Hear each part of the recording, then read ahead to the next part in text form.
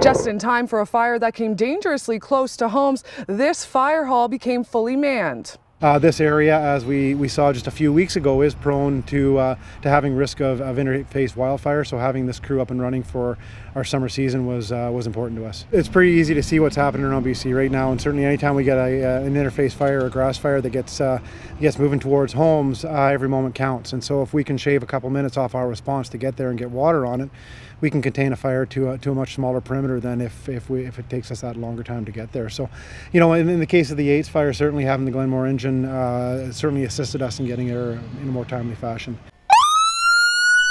So the Glenmore Hall has been in this community for a number of years and been well served by volunteers and paid on call members of the Kelowna Fire Department. We converted this to a career hall combined with the volunteers. So we still have community members volunteering and supporting uh, the fire department in this hall, but we now have a full-time four-member engine company operating out here 24 hours a day, seven days a week. Uh, it's critical. It, it, it, allows for a much faster response time. It gives a guaranteed, uh, no matter whether what time of day or night, um, we have an immediate response that's able to quickly get to uh, further reaches of our community than we were able to get to before. This hall generally serves the Glenmore area over to UBC and, and along Glenmore Road, of course, and uh, and down you know towards Dilworth, where it meets up with Engine One or Engine 2's areas. Generally during the day when there's multiple incidents occurring, uh, we move the pieces around as needed. Uh, there were a lot of people that were happy to see us moving in this direction, and this community, this part of the community, obviously is going through quite a bit of growth, and uh, so it, it did seem to be well appreciated.